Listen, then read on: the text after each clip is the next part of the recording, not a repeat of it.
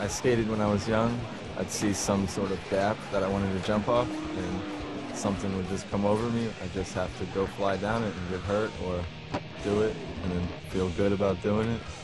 It never really bothered me to jump off things. When you're little, you don't really get hurt. You just fall on the ground, everything's fine.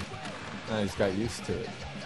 Sometimes, you know, I see things that kind of taunt me, and I'm like, I'm gonna have to handle that one day soon and it doesn't happen right then, but uh, it'll torture me enough until I have to go do it.